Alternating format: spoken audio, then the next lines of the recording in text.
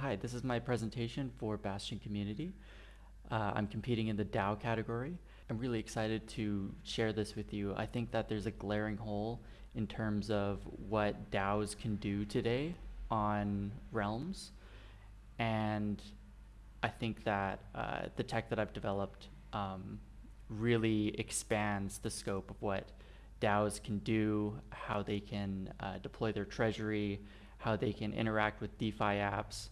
A bit about me my name is Tristyn. I ended up uh, being an early hire at Jet Protocol. We worked on our governance module, which is a lot like Realms.today. It's uh, the backend is using SPL governance, but there's also a staking module on top. Uh, so I got a lot of experience with the SPL governance program, and I saw how it was really powerful, but at the same time, there were some limitations that I thought weren't getting addressed. As soon as you introduce a DAO, the DAO can't log on to Mango Markets, they can't connect their wallet. They're extremely limited in what they can do. I'm going to talk about the Bastion wallet and how that can improve uh, the situation quite dramatically. Currently, there are some integrations with Realms.today. So you can create your DAO, you can deploy your uh, tokens. Let's say you have a treasury, you can deposit USDC on Solend, you can stake with Marinade. Uh, there's you can sort of trade with Mango markets. So as you see, uh, there's approximately 129 dexes on Solana. I pulled these numbers from uh, the Solana ecosystem. Uh, there's 129 registered dexes. Let's just say that there's 10 or 15 dexes that are really worth their weight, but only three of them are accessible through Realms.today, that being Foresight, Friktion, and Mango. If you look at lending protocols, there's a single lending protocol being Solend that you can use through Realms.today. Today. And in total, there's only about 12 protocols that integrate with Realms.today. Today. So that's really poor uh, penetration if I'm a DAO, what protocols can I use? What options are available to me? If there's new protocols being developed, I'm not able to take advantage of them. So if there's a developer building a protocol, they have to spend extra time going into realms.today, adding their protocol integration to this to the Realms front end, and it's an incredible amount of man hours that'll have to be spent if you truly want all of the different protocols to be accessible to DAOs. And I think that that is not sustainable. I think that there should be a much better way. The fundamental problem is that there's a treasury on chain, and that treasury is controlled by a PDA that's owned by the SPL governance program. And there's no user interface where that PDA can act like a regular wallet and connect to any typical front end. You know, on Mango Markets, you have beautiful candlestick charts, you have real time price data, but all of that is unavailable through the Realms interface. Let's say there's 20 protocols, there's four multi-sig solutions, there needs to be 20 times four integrations between all the protocols and all the multi-sig solutions. So there must be a better way. All a protocol developer has to do to support DAOs is to add the Bastion wallet adapter and that'll allow users to connect a DAO to their front end. So this is a general purpose solution. It'll generally work with any type of front end, any type of transaction. We can take their transaction and convert it to a multi-sig proposal. So let's get into it. I'm gonna do a series of demos. Uh, we're gonna create a DAO, we're going to fund it, and then we're gonna use those funds controlled by the DAO to trade on Mango markets and lend and borrow on Jet. So I have a fork of the realms.today front end and I have a wallet with about 100 SOL. This should be good enough for a DAO treasury. So I'm going to create a DAO. I have forked the Realms front end. I've also forked the SPL governance program. The only change that I've made to the governance program, this allows us to just submit one instruction at a time. Those transactions are smaller it can all fit uh, without hitting any limits. I've also had to optimize how SPL governance CPIs into the target program. So it's just going to be a one of one multisig for now. So here's my DAO. It's using the um, modified uh, SPL governance program. Again, this is just to avoid transaction size limits. I want to deposit onto Solend. So the way that that's done right now is you go scroll through, you have this huge list of possible actions. It's quite ugly. Solend is the only protocol that's supported by uh, realms.today currently. Want to deposit, then I'd have to select the governance USDC and I'm going to say I'm going to deposit 10,000 and then I add my proposal. But the problem is in this view, I don't see what my interest rates are. I don't see how much liquidity the pool has. I don't see how my deposit will affect the interest rates that I, that I will receive. I don't see um, what all, any of the other pools are. It really looks nothing like the Solend front end that I'm used to. So DAOs have this very foreign, very clunky interface. It's just pretty terrible. So there's a better way to do this. So instead, I'm going to use Bastion and I'm going to connect to a dApp. So I already have a treasury and I'm just going to send some sol to that treasury. I'm going to send 51 sol. Make sure we're on mainnet. Yes, we are. Test and prod. I'd like to get some USDC, so I'm going to go to Mango Markets.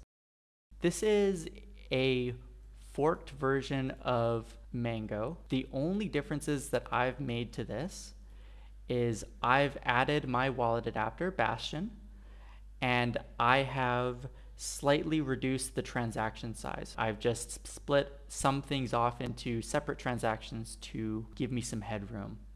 Uh, because Bastion uses a little bit of overhead. We're no longer just submitting a transaction that directly calls Mango. What'll happen is SPL governance will call into Mango, so that adds a bit of overhead. So let's connect this to my DAO. And the way we do that is we select the Bastion wallet, and then we have this wallet connect interface. So I'm going to copy my wallet connect link, and I'm going to paste that right here, and I'm going to connect. Here I go, Mango, mango.bastion community. So I'm going to approve that. And now we're connected. My treasury is 7SV. And if I look on Mango at the top right, 7SV.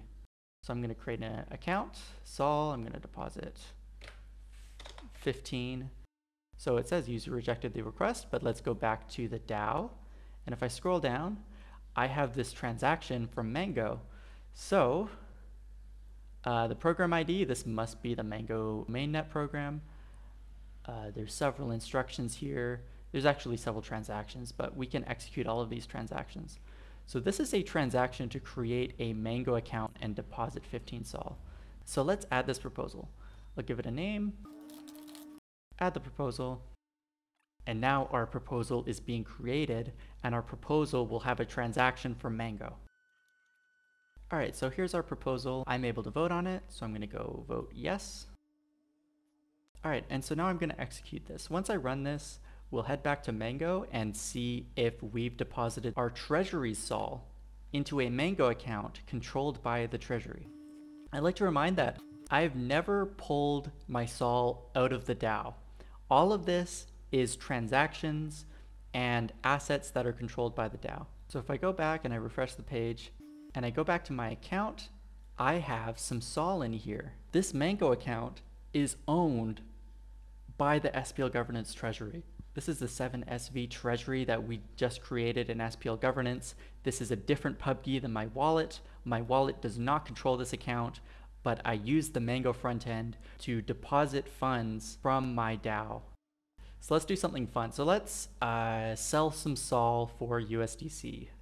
Just to prove that this works, so I'm going to create a new transaction. I'm going to name it sell SOL on Mango. As you can see, the treasury is 7SV, which we're still connected as. I'm going to go sell some SOL. Let's short some perps.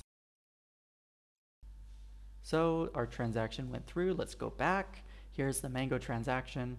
Uh, it starts with the compute budget instruction and then it calls into Mango. All right, so it's executed. All right, so here we go. We've shorted 5 sol. This is the treasury controlled by SPL governance that is shorted 5 sol. And if we scroll up, we're still connected to the treasury. So this looks like it works. Let's do some more demos. Let's trade spot on Raydium just to prove that this isn't just Mango, but we have all sorts of um, other front ends that we can trade on. So this is a fork of the Raydium DEX. The only changes I've made is I've added the Bastion wallet. This is one line of code that the developer has to add. Uh, I have also reduced transaction size slightly, and then there's one other change that I've made here. There's a call to get associated token address. That takes a parameter where it allows the owner off curve. We have to set that to true because the owner of all of these tokens is now a PDA that's controlled by SPL governance, which means that the owner is off the curve. So um, we just have to do that little fix there. So let's uh, trade spot on Serum through Raydium. Take our URL, connect it to realms.today. All right, so here we go. Raydium is trying to connect with us. Let's approve that. And now let's check. Our treasury is 7SV. As you can see, 7SV is connected. Here's our Raydium transaction. Again, there's very little that a protocol developer like Raydium would have to do to support this. It's basically adding the wallet adapter and then you can support DAOs with as little as one line of code. There's no extra work that a protocol developer has to do to support this.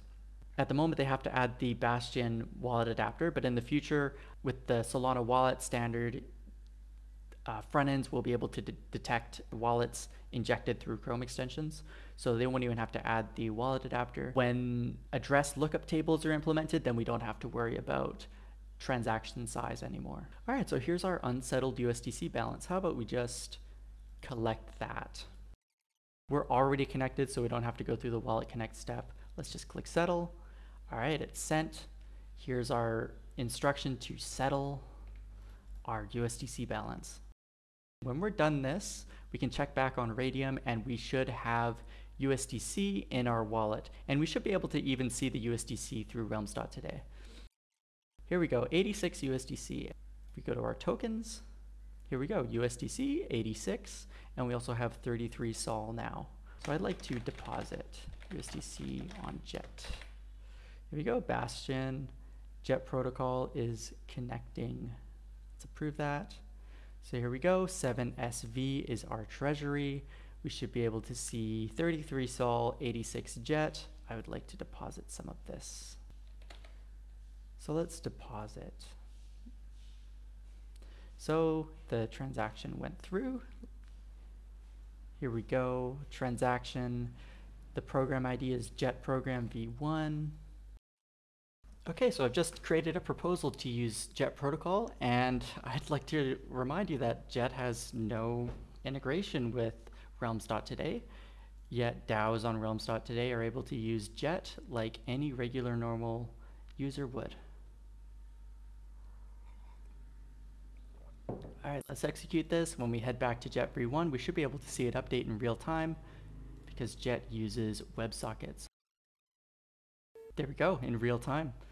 So here's the code for JET where we're trying to deposit. So the way this particular protocol does it is it creates a random key pair and it initializes a token account at that key pair. So we have this key pair, this key pair eventually signs the transaction, but we don't have access to that key pair, so when it's time to execute that transaction, we're not able to produce a signature. The front end will submit a regular transaction that doesn't have any SPL governance instructions in it. So we have to, after the transaction has been signed by this key pair, transform it, which invalidates the signature.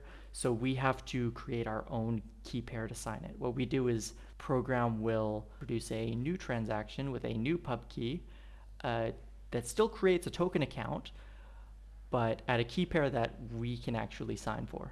All right, so here's this pesky signature in our deposit sol transaction we're just going to submit this and Realms and Bastion and SPL governance will just take care of it. It'll just work. Despite that signature potentially breaking the transaction and, and creating a signature validation error, it'll fix it up and it'll just work. So this is an integration with Realms.today and I'd just like to show you that we also have a integration with the Goki multisig, just to prove that this isn't a one-trick pony. You know, SPL governance is a type of multi-sig program and Goki is another type of multi-sig program. You can really target any kind of backend, whether it's SPL or Goki. So all of the code is hosted on GitHub. Bastion multisig slash multisig is the main repo.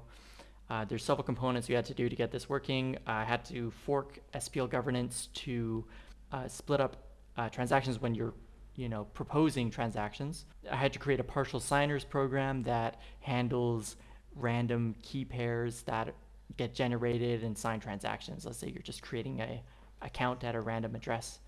There's a custom wallet adapter, which as you saw was a fork of Wallet Connect. I've had to modify Wallet Connect pretty extensively. Um, Wallet Connect v2 is the only one that supports Solana, but currently they're in beta. All of their examples didn't work. Um, I had to, first of all, get something that actually works on Solana, and then I had to modify the Solana protocol used by Wallet Connect to fit this use case, which varies uh, full transactions back and forth. And then I also had to create a transaction interpreter that takes a transaction that is produced by a front end like Mango or Jet and then modifies it and wraps it in an SPL governance instruction or wraps it in a Goki instruction so that it can behave through multisig. There were many, many uh, fixes and patches that I had to do to make it support as many different types of transactions that a front end can throw at it. Any transaction that a front end can send to realms.today should be executable by realms.today, and I think I did very well in uh, doing that. Each of the front ends that I've shown you, I've had to fork, I've had to add um, the wallet adapter, I've had to, in some cases, reduce the transaction size by splitting instructions into separate transactions.